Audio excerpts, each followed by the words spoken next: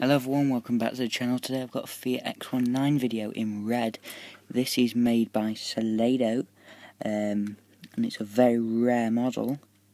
Um, made in France, worth quite a lot of money, um, but great detailing. Front and rear, however, don't have all the stickers, etc.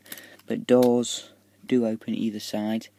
Bonnet, rear engined, don't open unfortunately boot, which is in the front, don't open.